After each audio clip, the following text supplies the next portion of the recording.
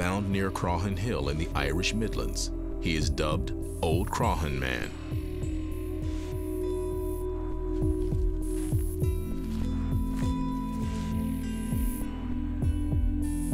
His head and legs were never found. What remains, however, is in remarkably good condition. Forensic testing tells us that he was likely a man in his 20s. By measuring the length of his arms, pathologists estimated that he towered at a height of 6 feet 6 inches. He was probably an aristocrat well-manicured fingernails point to his having lived a privileged life. A Celtic armlet is also a sign of rank. What happened to this young man so long ago? A deep stab to the chest punctured his right lung.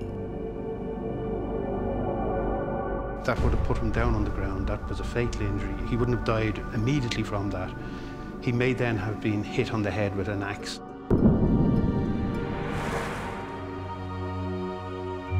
His head was removed. The lower part of his body was removed.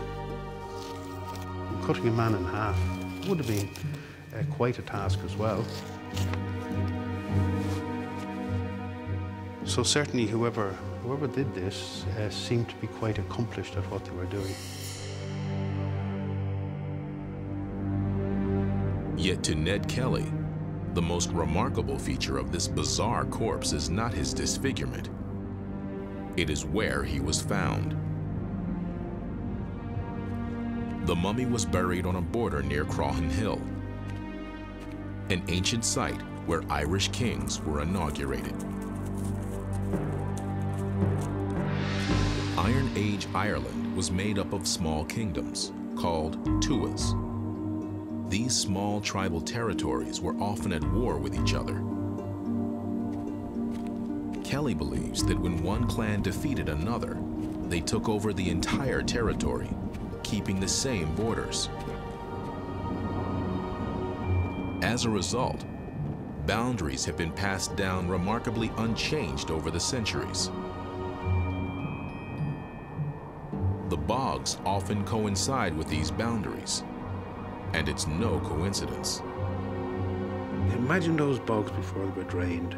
They're dangerous swamps, they're mires. You could, you could disappear down into a bog hole and that'd be the end of you.